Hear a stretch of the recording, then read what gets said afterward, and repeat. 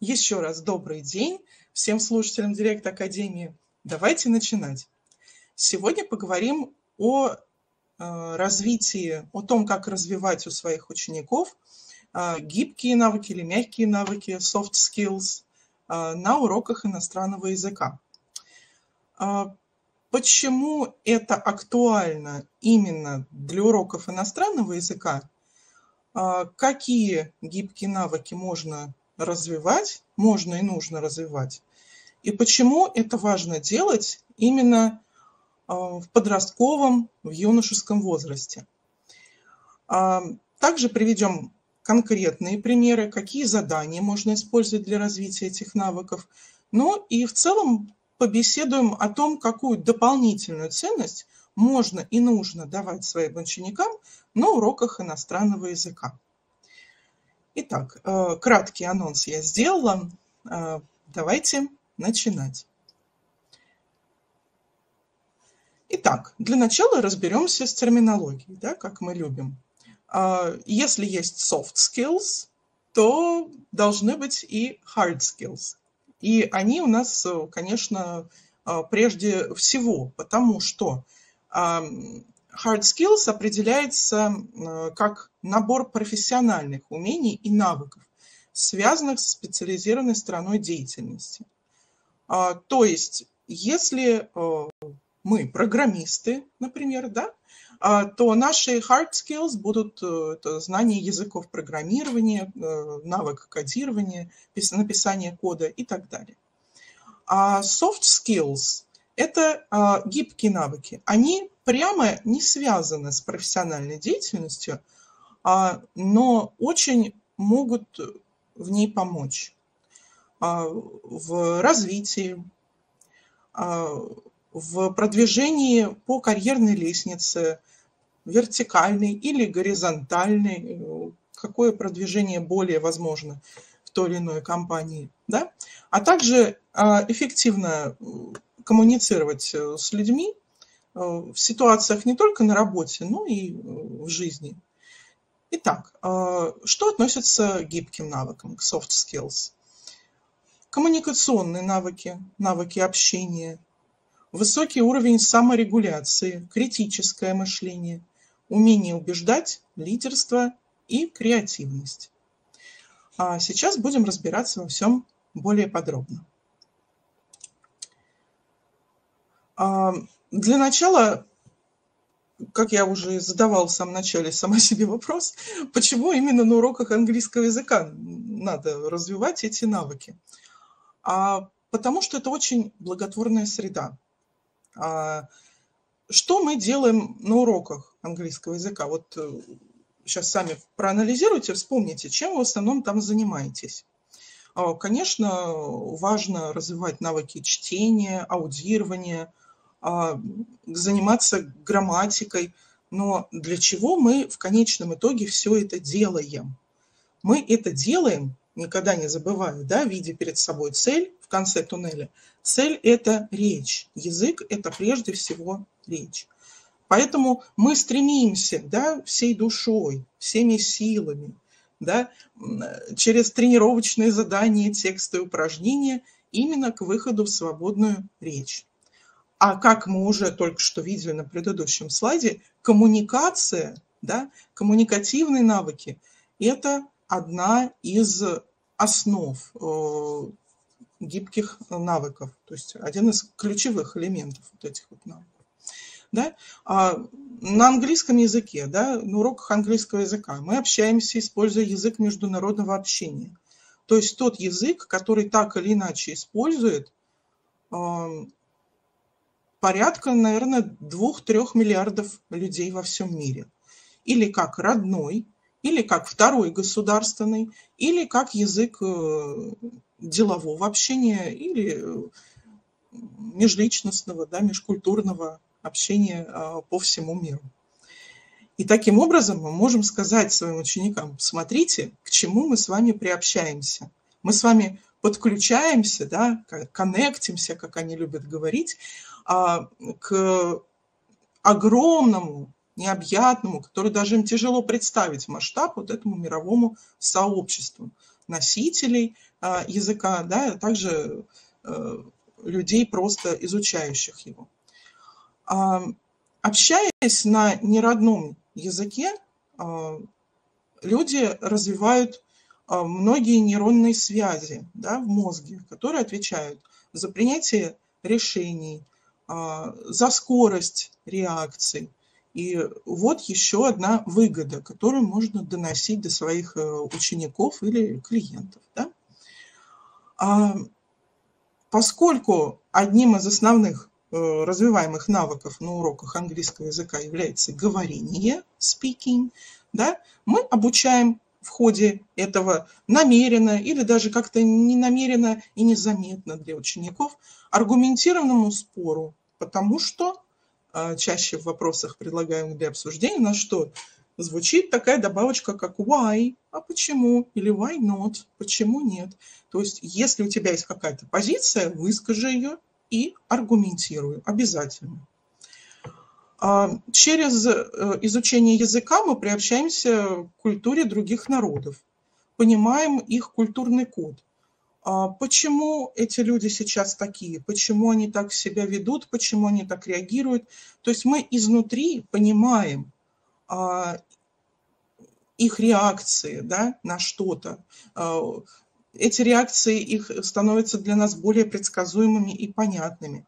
Изучая их историю и обычаи, мы понимаем их сегодняшнее да, состояние, их сегодняшний менталитет.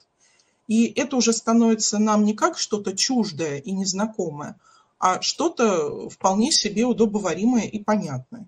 Мы можем это для себя до конца не принимать, потому что мы носители э, другой культуры. Да? Не надо себя тут оценочно сравнивать, вот это вот они лучше, мы хуже там или наоборот. Нет, я за безоценочное восприятие вот этого всего, а, просто с уважением, с пониманием относиться а, к этому. Но для этого лучше, конечно же, выучить язык, чтобы лучше понимать этих людей изнутри. Изучая другую культуру, мы учимся быть к ней терпимыми, да? Терпимыми, терпимыми прежде всего к различиям, которые между нами существуют, между двумя вот разными а, цивилизациями, западной и а, восточной. Ну, э, мы так исторически сложилась, Россия, находимся между Европой и Азией, да, то есть мы носители а, двух цивилизаций, двух культур, у нас свой отдельный менталитет, и мы, конечно же, способны понять и носителей западного менталитета, и восточного. И на уроках английского языка э, очень удобно к этому всему приобщаться самим и приобщать а, своих детей, своих учеников. А самое популярное направление в развитии гибких навыков сейчас концепция 4К. А, что же это за такие 4К? Прежде всего, это коммуникация, вот о ней мы сейчас поговорили, кооперация, это способность сотрудничать в рамках э, команды, постоянно действующей или временной команды – или э, в ходе проектной работы, межкомандное какое-то даже да, взаимодействие. Креативность. Креативность сейчас слово довольно-таки такое избитое и как бы немножко потерявшее свой цвет и соль, я бы так сказала, да. А, но я под креативностью понимаю способность э, генерировать э, идеи, которые значительным образом отличаются от уже имеющихся в обиходе, ранее высказанных каких-то мыслей, а также способность а, производить э, какие-то а, конкретные вещи, то есть объекты творческой, творческой работы. А критическое мышление – это то, чему ну, просто жизненно необходимо учиться – а, и владеть, и чем необходимо владеть, а, чтобы избежать в будущем попадания в какие-то тяжелые жизненные ситуации, связанные с обманом, а, с мошенническими какими-то схемами, с вовлечением в разные незаконные организации, формирования. Нужно обладать этим критическим мышлением. Поэтому вводя в свои уроки в свои занятия какие-то элементы, упражнения, приемы, которые способствуют развитию а, гибких навыков, мы оказываем своим ученикам огромную услугу. Мы, можно сказать, готовим их э, к взрослой э, жизни, самостоятельной и очень такой многогранной, иногда подчас опасной. Итак, а, давайте поближе рассмотрим а, эти 4К. Займемся ими, да, вплотную. Первое, что понимают под э, первым К, коммуникацией? Установление контакта. Вот представим на уроке английского языка, у нас новая группа, и э, мы знакомимся с группой, да, мы устанавливаем с ними свой контакт. Также ученики, которые друг друга, может быть, видят в первый раз, э, тоже могут при вашем посредничестве, вашей помощью да, э, устанавливать между собой контакт. Умение договариваться – ну, тут, я думаю, комментировать не нужно, здесь и так все лежит на поверхности. А договариваться, кто первый будет э, выступать, отвечать. То есть поиск какого-то компромисса подчас. Поддержание разговора. Э, это вообще и взрослым не повредит, поскольку многие взрослые э, страдают от неумения вести small talk. Да, small talk с английского – это а, беседа для того, чтобы установить э, контакт и предварить дальнейшее общение.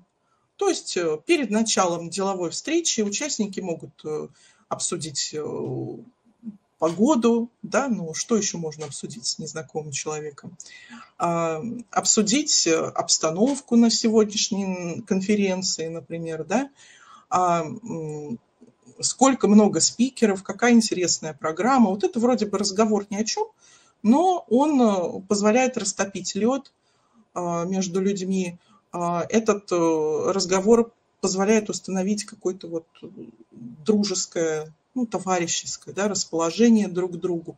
И в дальнейшем, когда пойдут контакты уже деловые, да, чисто рабочие, общаться с этим человеком будет гораздо легче. Поэтому очень важно – а, приучать э, к навыкам small talk.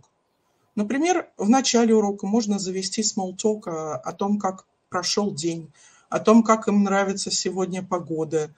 С более взрослыми учениками обсудить какие-то новости дня, самые такие яркие.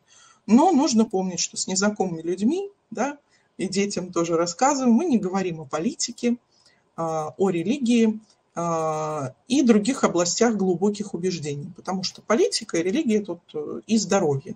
Здоровье – это тема интимная, политика и религия – это области глубоких убеждений, где очень легко задеть человека, и он, может быть, ничего не скажет в ответ, но он останется э, в душе с осадочком к вам, да, с какой-то вот неприязнью. Поэтому вот этого нужно а, э, избегать.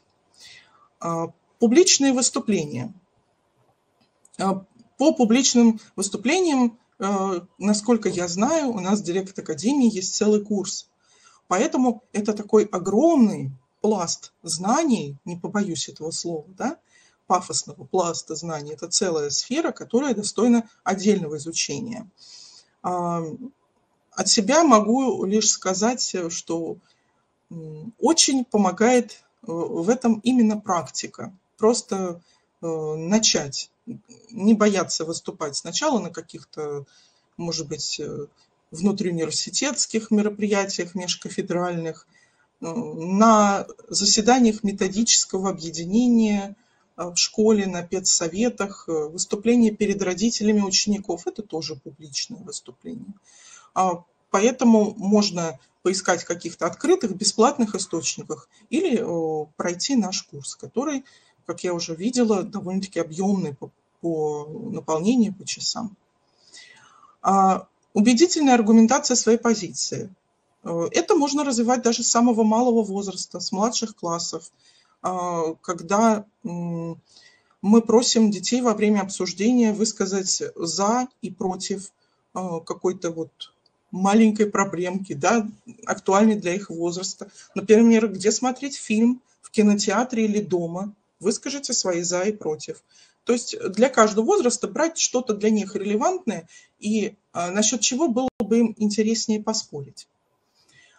А, эффективное слушание. Что я имею в виду, что имеется в виду под эффективным слушанием? А, это активное слушание, прежде всего.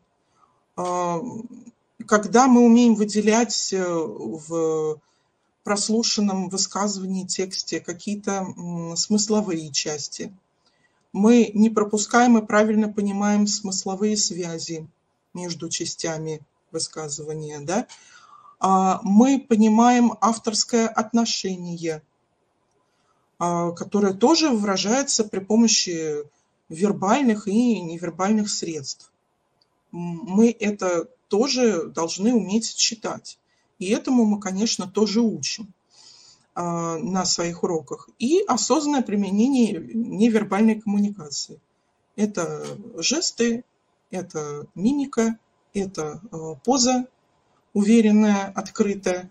Этому, конечно, стоит учиться. Об этом написано много книг. А, и это еще одно направление развития, саморазвития, которое каждый из нас может для себя выбрать. Смотреть ли видео, читать ли книги, но это, безусловно, тоже интересная вещь, интересное направление. Так, кооперация. Ну, тут э, все довольно прозрачно и более кратко я об этом скажу. Кооперация – это, другими словами, что? Это сотрудничество, не так ли, да? А, навык объединения в группу, навык командной работы, навык организации работы всей команды внутри.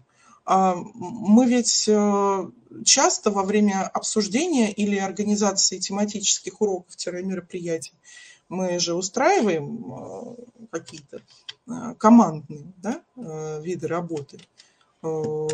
И, безусловно, в рамках вот таких вот уроков, занятий дети учатся навыкам командной работы. Как распределить, как делегировать, да, по каким принципам.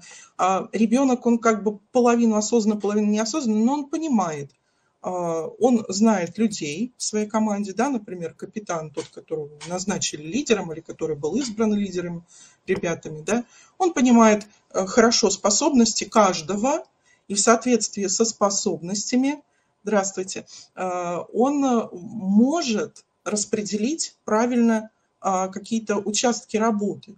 Он сначала, как лидер, раскладывает задачу преподавателя на подзадачи, да, и в соответствии с тем, а, кто на что способен в его команде, он правильно распределяет задачи.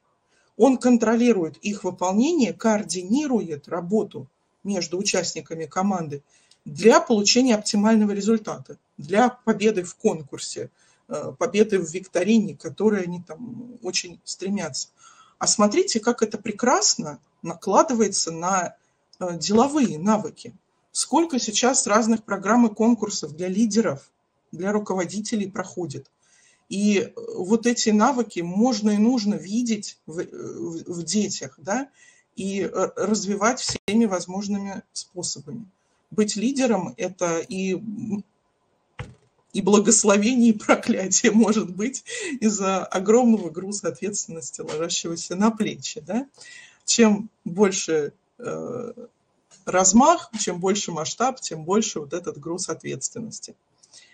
Да, но не будем сейчас о грустном.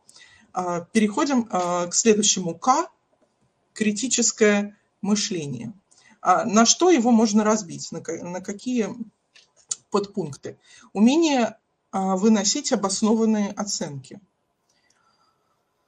Если уж мы э, даем задание что-то оценить, да, а, что-то. Например, э, тема книги, фильмы, да, нужно оценить какой-то фильм, дать отзыв на фильм и поставить свою оценку от 1 до 10. Вот ты дал оценку 7, а теперь расскажи нам, пожалуйста, почему именно 7, почему не 10, что тебе понравилось, а что не, не хватило, а, чтобы э, все поняли, что ты эту оценку ставишь непредвзято. Не просто потому, что ты, э, тебе не понравилось название, скажем так. А, Так, далее навык э, корректно применять полученные результаты к ситуациям и проблемам. А что под этим мы можем понимать? Э, вот мы э, с вами поработали, дали детям задание. Они поработали. Например, опросили группу участников своего класса там, да, на предмет их предпочтений. И теперь их задача правильно обработать и рассказать о результатах своего исследования. А те, кто готовит э, к ЕГЭ, наверное, сейчас э, с болью в сердце вспомнили задание номер 38, да, где мы описываем э, результаты опроса, представленные в виде графика, таблицы или круговой диаграммы. Да? Есть ли здесь коллеги, которые готовят к экзаменам? Поставьте огонечки, пожалуйста, если есть. А, или плюсики. Так, а есть э, те, кто работает со средней школой? Угу. Так, нету, похоже. Ну, хорошо, ладно. А, тогда я не буду на этом сильно делать акцент. Хорошо, что а, сказали. Дальше, наблюдательность. Наблюдательность – это возможность замечать э, общее и отличия находить какие-то нюансы. А, например, дети очень любят а, задания типа «What's wrong with the picture?». Прям можно забивать в поиске в гугле «Describing pictures» или «What's wrong?». Просто что не так с картинкой. И иногда поиск выдает картинки, где огромное количество деталей и огромная, следовательно, возможность о том, чтобы проартикулировать, сказать, что не так конкретно вот с этим элементом на картинке. Поэтому это очень хорошая активность для warm-up, для разминки на занятии. Э, очень рекомендую запастись арсеналом таких картинок. Можно просто а, описание, опишите картинку. И выбирать картинки частенько вот искусственный интеллект рисует с большим количеством деталей. Они вроде бы с виду простые, кажется, а что тут описывать? А вот вы их научите наблюдательности. Что на переднем плане, а, что на заднем плане, а, какие эмоции у людей на картинке, да? Что между ними, возможно, происходит, да, что они делают. Они выбирают обувь в магазине или они читают книжку на ночь. Э, о чем сказка? То есть умение даже не только наблюдать, но и строить догадки, делать выводы из того, что вы видите замечая э, детали. Может быть, легкий беспорядок в комнате на заднем плане, да, видно, что ребенок, например, спешил побыстрее лечь спать, послушать папину сказку. Это все очень как бы развивает. Это сначала можно э, при помощи наводящих вопросов, да, из них выжимать, вытягивать, а потом они уже сами начнут. И это очень хороший вид работы. Способность к интерпретации – а, э, интерпретация текста – это вообще, вот э, кто на ней учился, это отдельный предмет. Но элементы интерпретации текста можно вводить и не только на уроках иностранного языка, а, но и э, сейчас это делается на литературе, на уроках чтения, еще в младшей школе. А, когда моя дочь пошла в первый или второй класс, приду пример из личной жизни, я посмотрела рабочие тетради а, к ее учебникам по чтению и поняла, что придется мне вспоминать свою университетскую программу, потому что очень много там было заданий а, такого уровня, что текст каждый препарировался просто вот под микроскопом на мельчайшие детали. Возможно, для них было это очень круто и сложно, но сразу было видно, что какая планка задрана и как им предстоит в более старших классах вот это все развивать, сколько всего а, придется развивать. И знание а, средств, а, которые авторы используют для выражения своей мысли, да, и а, логическое деление, видение структуры текста, а, не только вот отдельных выразительных текстов, но э, средств, но и их общие картины, которые они дают, да, вот в этом контексте. Способность сделать заключение, исходя из вот этого вот обширного анализа, и давать свою оценку а, происходящему. Да, опять же, мотивированную, обоснованную оценку, а не просто так. А, мне нравится читать книги, мне не нравится читать книги. Я люблю смотреть фильмы по телевизору, я люблю смотреть фильмы в кино. Ну, это просто утверждение. Нам нужно из них вытягивать что да как да почему. Дети иногда шутят, что учителя английского знают про них больше, чем родители. Это действительно бывает э, так, потому что мы очень стараемся их разговорить, все из них вытянуть. И э, креативность следующее наше К. А, что оно себе подразумевает? Продуктивность. Но я а, под продуктивностью здесь понимаю не продуктивность в бытовом плане, да, в обиходном. Э, как вот, я сегодня была продуктивная, я сегодня э, много успела сделать, да, купила продукты продуктивные, да, э, приготовила там еду, вот, вот я продуктивная, я много успела. Нет, здесь продуктивность не совсем э, про это. Это способность к производству объектов творчества. Да? Гибкость. Что я подразумеваю под гибкость? Это невозможность вертеться ужом э, между одной какой-то вот группой, противоборствующей другой, и нашим, и вашим. А, нет, э, ни в коем случае. Это скорее способность нахождения новых решений, а, умение эффективно использовать имеющиеся материалы и инструменты. А, что еще?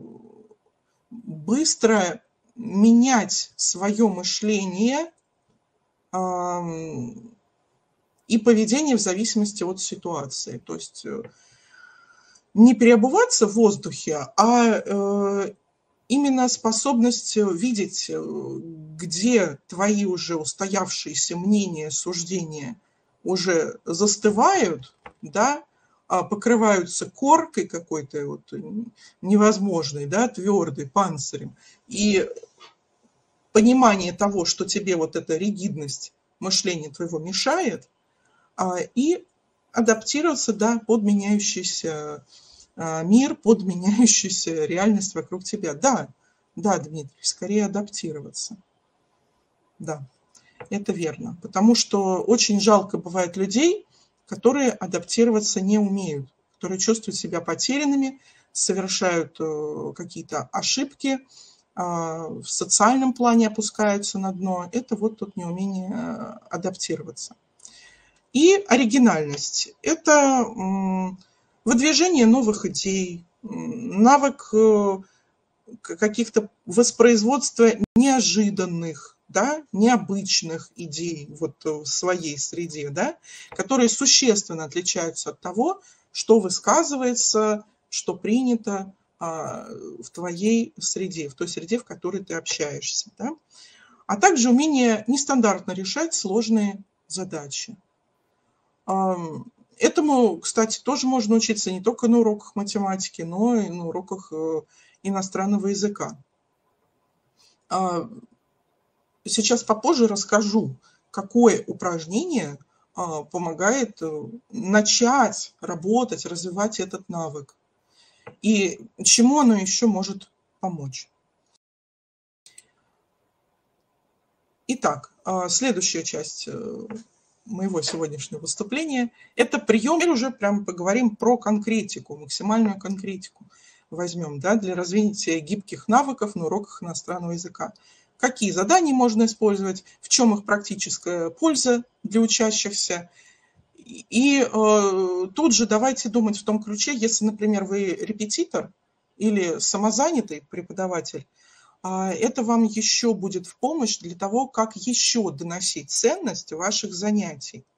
Потому что э, получение отказа, там, когда человеку разворачивается и уходит, например, увидев какую-то цену или э, что-то еще его не устраивает, это означает прежде всего, э, что вы не донесли ценность занятий. Давайте будем учиться доносить их, аргументировать через Э, ваши э, преимущества. Итак, первое упражнение, которое может э, дать старт, скажем так, развитию нестандартного мышления, хорошо развивает избирательное внимание, наблюдательность, способствует умению находить нестандартные решения, а также способствует повышению грамотности, то есть правильно писать слова, да, учимся, а, запоминать лексику по теме урока и э, разнообразит учебную рутину. Да, более того, это легко встраивается в любое занятие, и онлайн, и офлайн.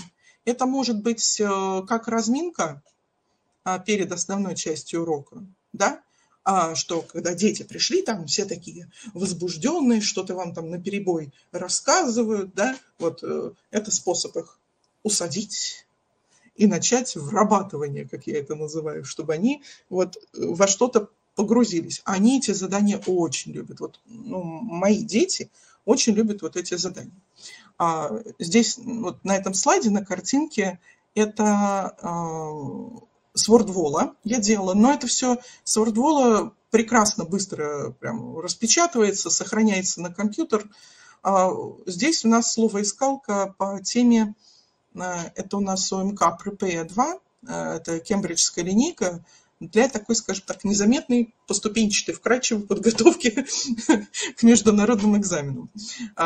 Тема, по-моему, это магазин, да, шопинг. И там была еще а, такая вставочка, небольшой текст про двух молодых предпринимателей, э, детей 12-13 лет, которые придумали собственные проекты, кстати, реально существующие, я пробила сайты. И вот э, что они там делали, продавали. Вот смотрите, а, вроде бы лексика даже такая не особо детская, да, но а, почему бы нет? Этот э, УМК универсальный, я его с э, шестым-седьмым классом и с девятым-десятым могу использовать, э, прекрасно ложится, каждый находит что-то свое. Вот, пожалуйста, вот первый такой лайфхак, что можно использовать. Дальше. А, распутываем запутанное или unscramble. А, здесь это скорее упражнение на скорость. Скорость реакции, скорость принятия решений развивается. Таким образом, мы э, начинаем подготовку к выводу в речь, то есть мы можем при помощи этого упражнения отработать любую грамматическую или лексическую конструкцию, да, устойчивую. Э, можем отработать порядок слов в вопросительных предложениях. То есть дети учатся э, задавать вопросы, да, вот у них разбросанные слова, собери из них вопрос. Да, грамматику отрабатываем, лексику отрабатываем, что угодно. Э, вот на WordWall это надо сделать на скорость и плюс еще учесть количество ходов. То есть они еще анализируют, что какой элемент куда поставить. Да? А это ли не прекрасное упражнение для развития вот быстроты реакции и внимания? Да? И вот а, анализа, аналитических способностей, что мы куда должны передвинуть, чтобы быстро получить правильный результат, получить еще за это а, премию в виде каких-то дополнительных баллов. Дальше, еще одно упражнение – это сортировка. А здесь мы начинаем плавно, вот с самого детского возраста, развивать э, навык систематизации полученных знаний. Вот мы прошли, например, две или три темы выучили там порядка 30-40 новых слов. Давайте-ка мы их теперь разнесем по каким-то категориям. Или внутри какой-то темы, если много слов разных, да, мы тоже их э, э, предлагаем детям распределить по каким-то группам. Да? Ну вот, например, на данном слайде у меня разработка к теме магазины что в них можно купить, продукту, э, одежды и где в каком магазине что продается. Вот, пожалуйста, тоже задание надо а, выполнить быстро и на время. То есть эти слова они уже знают, они их изучали. А теперь давайте-ка распределим, систематизируем. Также помогает развитию скорости принятия решений, реакций. Если они это делают в команде, то они прям сразу, мне нравится, как они начинают взаимодействовать. Так, ты давай вот, вот это ищи, а я пока, э, я пока двигаю, а ты мне уже там следующее подсказывай. Э, заполняем вот эту категорию сначала. Или там э, заполняем там первый столбик, да, ну, в зависимости от того, как выглядит упражнение. Они прям сами начинают кооперироваться по двое, по трое. А, дальше. Когда мы уже находимся на финале какой-то темы, раздела, у нас неизбежно должны следовать задания на обсуждение, дискутивные а, упражнения. Да? Во время дискуссии что мы учимся делать? Мы учимся выслушивать собеседника, не перебивая до конца. И здесь как, вы как модератор беседы должны тщательно за этим следить. Учим терпимости к иным мнениям. Вот, например, э, твой одногруппник, там, одноклассник думает иначе, давай выслушаем его. Давай не будем сразу перебивать или смеяться над ним. Тоже вы, как модератор, за этим следите. Отрабатываем тематическую лексику. Да? Надо смотреть, чтобы вопросы, которые вы предлагаете на обсуждение, были завязаны на отработку какой-то темы или конструкции. А, таким образом можно вывести грамматику в речь. Например, это особенно актуально а, я, к сожалению, часто с этим сталкиваюсь, когда ребенок, который никогда дополнительно не занимался языком, только по школьной программе, и то спустя рукава, и тут он в 10 классе, а то и в 11 решает, что он будет сдавать ЕГЭ по английскому языку. Вот это, конечно, вызов. И э, единственное, вот э, самое, наверное, эффективное, что я для себя поняла и что я для себя приняла, да, это э, здесь выводить все через грамматику. Потому что, когда у человека системные пробелы, а, то для сдачи экзамена нам очень нужна грамматика, причем на таком хорошем уровне. Но нам также нужно еще и говорение. Поэтому мы начинаем с грамматики, и наша цель вывести грамматику в речь. По пути мы к этой грамматике присоединяем а, какую-то лексику, да, по возможности, но цель у нас все равно вывести в речь, потому что он будет отвечать на вопросы и в письменной, и в устной части экзамена. А, развиваем воображение и креативность. А, здесь вот на слайде у меня отрывочек игры на отработку конструкции Would you rather? А с двумя девочками из 10 класса, слабенькими я использую, которые готовятся э, к ЕГЭ. И я им предлагала такие вопросы, где надо сделать очень трудный выбор для них. Например, вот как здесь. Would you rather be forever slim or forever rich? Ты бы предпочла быть всегда худой, стройной или всегда богатой? И вот они предлагали свои ответы и объясняли, почему ты бы предпочла читать мысли или иметь какие-то другие сверхспособности? Какие именно и почему? Вот мы отработали вот такую грамматическую конструкцию. Да? Еще, конечно, по ходу на это наслаивалась, наслаивалась определенная лексика. Мы записывали лексику. А, то есть вот таким образом работали. А, дискуссия – это отличная вообще э, вещь. И э, как венец всего, да, э, всему проектная работа. А, ну, я думаю, школьные учителя, у них э, при упоминании слова проекты, наверное, иногда начинает дергаться глаз, потому что везде и повсюду эти проекты, а, во всяких разных ипостасях, у детей тоже дергается глаз к концу года от этих проектов, от необходимости их защищать. А, что-то оригинальное каждый раз выдумывать, э, потом представать перед комиссией целой, да, это вот уже для тех, чьи работы отобрали, участвовать в, как, в каком-то конкурсе, какое-то портфолио, но нет. Даже если вы репетитор, самозанятый преподаватель, который работает с мини-группами, вы там можете спокойно организовать проектную работу, причем не называя ее так, чтобы у детей не появилась там вот какая-то вот негативная реакция. Начинаем поэтому с микроформатов. А, в рамках, э, например, одного урока или одной темы.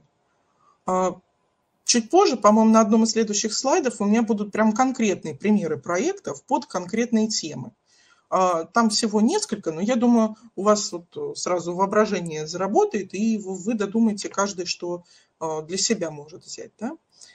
Так, Здесь э, учим детей, может быть, они уже сами а, что-то могут э, в части распределения работы внутри команды.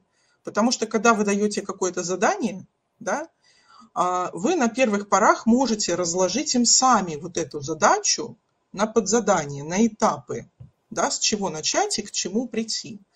Но потом они очень быстро начинают это делать сами внутри своей команды. А, делегирование полномочий. Да, конечно же, а, все мы знаем, ну, может быть, даже не до конца осознаем, а, что хуже нет для руководителя, э, чем всю работу делать самому. Это значит, что он плохой руководитель. А, не менее 60-70% он должен делегировать. Задачи должны быть делегированы. Ну, ты умение делегировать. Как ты э, делегируешь часть своей работы кому-то еще? Кооперируемся, возможно, сотрудничаем между разными командами, да, обмениваемся недостающей информацией. Умение творчески нестандартно мыслить. Сейчас а, покажу э, на следующих э, слайдах, с помощью чего и как можно нестандартно мыслить. А, выходим в свободную речь по теме. Ну, это естественно, потому что а, именно в этом состоит задача проектной работы. Вот эта проектная работа, она может стать любимым видом урока. То есть э, ее будут ждать. И все вот это вот прохождение темы, вот это все упражнение – аудирование, раскрытие скобок там, или тесты, они будут э, воспринимать как подготовку э, к чему-то там такому интересненькому, командному, да, если они у вас делятся, да, на команды, в принципе, количество людей.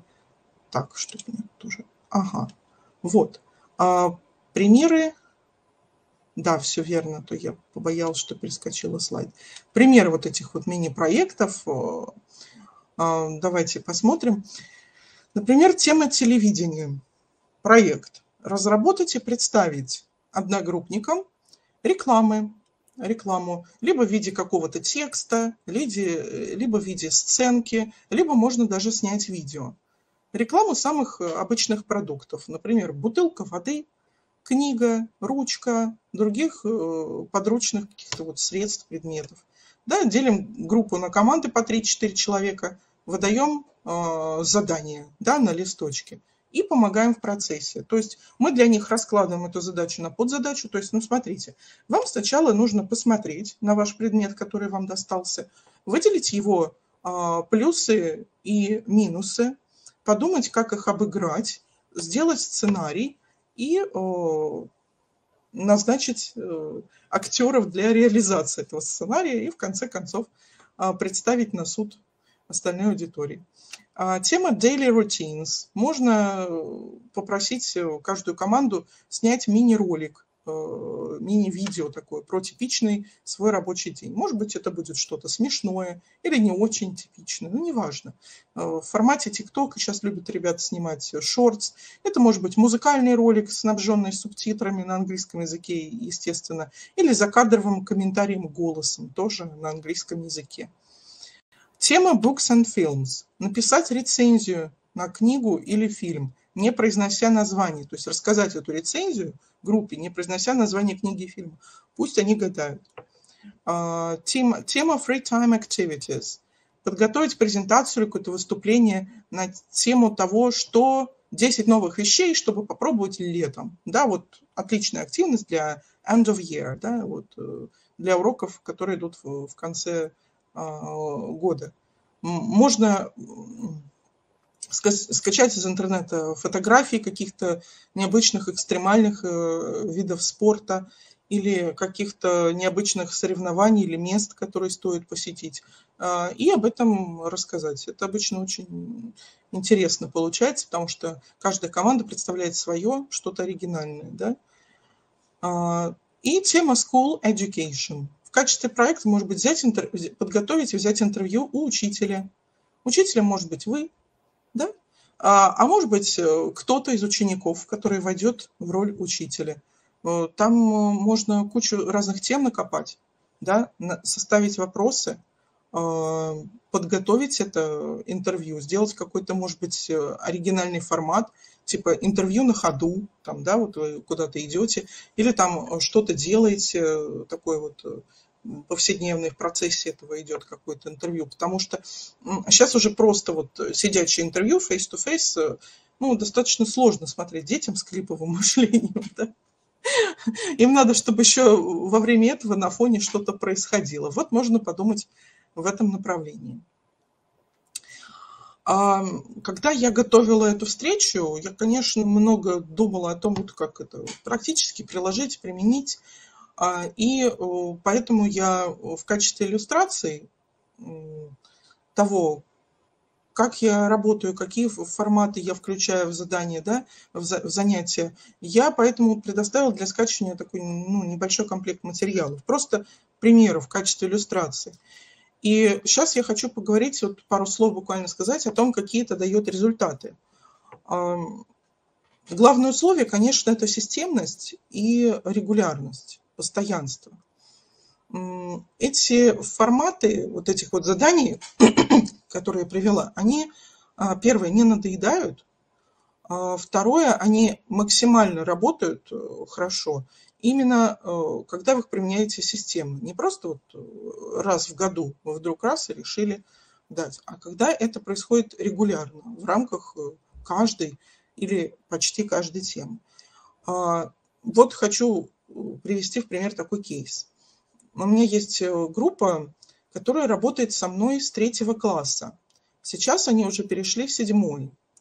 И э, недавно, видя то, как они выросли в устной речи, в аудировании, я решила на свой, скажем так, страх и риск дать им несколько заданий из ОГЭ, которые сдаются в девятом классе. Что вы думаете? Они 90% решали правильно эти задания.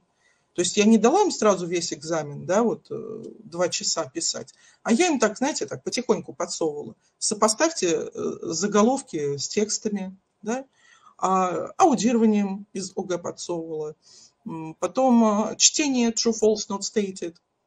Все делается прекрасно, все сразу видится, все, а, даже если как, какие-то незнакомые слова, они научились их, игнорируя, присваивая им какое-то значение, назначение, ну, например, это примерно какое-то качество – или это что-то хорошее, это что-то плохое, это, наверное, что-то большое. Это, наверное, какой-то человек какой-то профессии. То есть вот по каким-то косвенным признакам, да, они это уже э, понимают и умеют делать. Многие дети, классники так умеют делать. То есть это дает свои плоды, свои результаты, именно вот эта вот системная работа с ними. Они обожают вот эти вот дополнительные активности, эти вот uh, unscramble, unjumble, uh, вот эти вот всякие словоискалки, uh, what's wrong, или можете дать еще, знаете, вот на один листочек в Word накопируйте кучу картинок одинаковых. Например, на Новый год, например, у меня там было несколько типов елочных шаров, гномики, Санта-Клаусы, олени, и вот их много-много таких небольших на э, лист А4. Им надо посчитать, сколько каждых предметов. Это очень тоже развивает концентрацию внимания. Почему более старшие дети э, старших классов не могут правильно решать э, задания по чтению? Казалось бы, при, при чем тут эти вот э, гномики и шарики и чтение? Потому что концентрации нет, они не выдерживают на протяжении вот этого всего текста. А вот эти вот э, Э, всякие головоломки, сосчитай, расположи по порядку, э, вот раздели по группам, там, посчитай, какого вида сколько предметов на картинке. Они эту концентрацию, усидчивость, они развивают. А, то есть это на самом деле большое подспорье. Да? Умение коммуницировать, да, задавать друг другу вопросы, делать интервью. Это не сразу, но это обязательно зайдет. Надо только попробовать с разных сторон найти тот формат, который интересен именно вашей группе, вашим ученикам. Обязательно зайдет, и эти обязательно старания ваши будут оценены. Может быть, не сразу, э, не имеете никогда особо высоких ожиданий. Э, бывает иногда, что вы готовите какой-то урок, там 3 или 4 часа, какой-то суперинтересный урок, а они приходят, возможно, после какой-то контрольной или после какой-то выматывающей физкультуры, им ни до чего, ничего не хотят и вы получаете разочарование своих высоких ожиданий. Лучше не делайте сразу целые уроки какие-то, а небольшими э, вкраплениями. Видите, что зашло? На следующий урок еще что-то такое мы подсунули. Потом еще через урок, через другой урок. И так потихонечку вводить вот эти э, виды работы. И вот и даже самые отпетые лоботрясы, они потом втянутся. Это очень благодарная штука. Так, а, ну и последняя, заключительная часть нашего морализонского балета, да, это список источников. Я сюда включила ссылки на WordWall, вы можете пройти, посмотреть э, там мои какие-то другие задания. Они все э, копируются, скачиваются, можете их себе забрать в свой аккаунт, если вы работаете на WordWall. Ну и, конечно, при э, работе над сегодняшним вебинаром а, я использовала один из разделов нашего ресурсного центра, да, вот воспользовалась своим служебным положением, да, а, и ознакомилась э, более подробно с некоторыми книгами, которые у нас представлены в разделе «Методика преподавания». Там появились у нас очень интересные э, новинки. Э, вот ссылки на некоторые из них, новинки 23 года, 20, а, ну, 22 это уже не такая новинка, но тем не менее. А, очень интересные авторы, очень толковые, да. А, кстати, вот хотела сказать, у многих э, учителей английского есть такой определенный снобизм и предвзятость, да, по поводу наших э, российских методистов и э, преподавателей иностранных языков, типа, что они там могут, да? А ведь у них есть одно огромное преимущество перед Оксфордом, Кембриджем и всем. У них есть опыт изучения языка, вот этого, как не родного.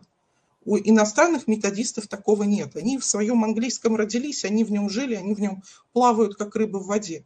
А э, все мы прошли через вот это вот горнило, да, изучение чуждого нам языка, перекраивание, может быть, своего мозга в определенной степени, да, и э, многие наши российские ученые, они э, действуют, они именно вот излагают с той точки зрения, как если этот язык вам не родной.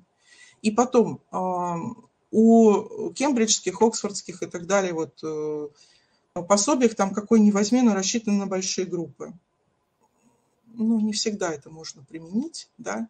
Всегда это как-то приходится перекраивать, переделывать, если у тебя там, там два-три человека в группе, да, или вообще это, если индивидуальная работа. А, поэтому я рекомендую вот убрать вот эти вот предусуждения и ознакомиться с работами а, наших э, российских русскоязычных а, ученых. Вот я вам дел, делаю скидочки, не скидочки, а ссылочки на монографии и рекомендую ознакомиться не только с ними, но и со всем разделом, да, потому что раздел достаточно большой.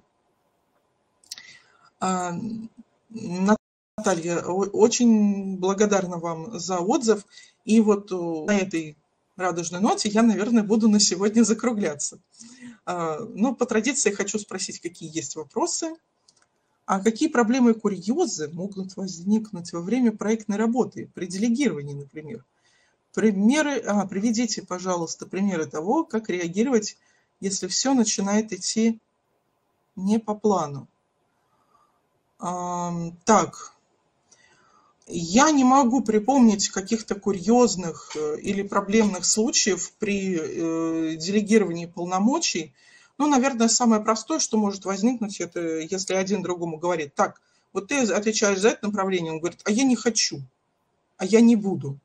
Ну, в таком случае, конечно, если вот э, идет вот такой диалог между детьми, преподаватель должен быть на страже, подойти и разобраться, почему именно ему делегируешь, а, почему ты считаешь, что он лучшим образом выполнит вот это задание, да, а почему ты не хочешь, какую ты проблему видишь в этом, или а что ты хочешь. Может быть, он спокойно может поменяться задачей с другим человеком в своей группе. Да? В общем, а, постараться прийти на помощь, а, постараться убрать конфликт в самом зачатке, пока он не разгорелся, пока не начали там кричать друг на друга и э, учебниками кидаться. Вот, вот этого уже не надо допускать.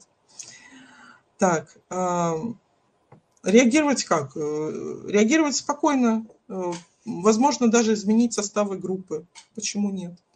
Перевести из одной группы человека в другую, да? дать ему работать над тем, что он хочет, или убедить его в том, что он чего-то не хочет, оно на самом деле самая козырная часть работы – дать ему такие плюсы, сказать, вот смотри, вот ты не хочешь а, вот это делать, вот ты не хочешь интервью брать, да, вопросы задавать.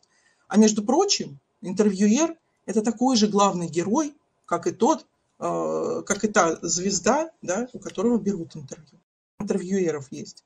Какие они знаменитые, сколько у них миллионов подписчиков на каналах, да, вот, э, и назвать две-три известные персоны. Ты разве не хочешь побывать в его роли? Да?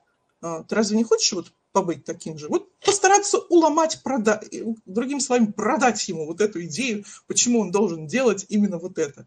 Возможно, он как-то уже по-другому посмотрит на ту часть работы, которая ему казалась до этого неинтересной, ненавистной, вообще фу. Да? А, вот. Так, спасибо. А есть ли еще какие-то вопросы?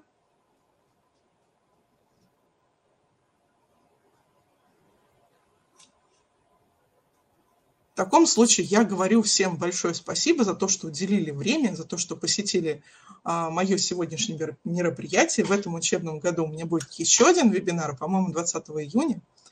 И я вам а, желаю а, отличного завершения учебного года, а, больших успехов вам и вашим ученикам, если они сейчас сдают какие-то экзамены, да?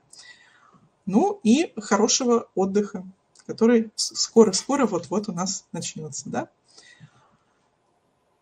Спасибо еще раз за внимание. Всего доброго.